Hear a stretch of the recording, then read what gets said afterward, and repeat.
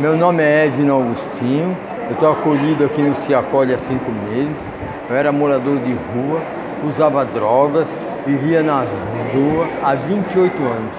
Não sabia que podia encontrar um lugar desse, igual eu encontrei o Ciacole.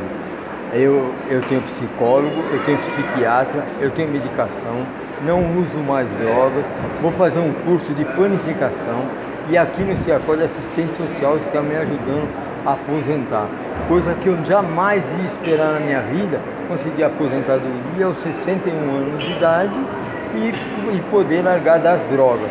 É só ter força de vontade. Quem tem força de vontade, o Ciacole ajuda. Aqui, aqui o mais importante que nós temos aqui é o carinho de todos os monitores, dos diretores aqui, é o carinho, o amor que eles nos tratam. E eu nunca tive uma festa de Natal, porque eu sempre vivi na rua, há 28 anos que eu nunca vivi, eu nunca tive uma, uma festa de Natal, igual eu estou tendo agora e podendo passar para as pessoas. Então é isso que eu tenho para falar do Cerco.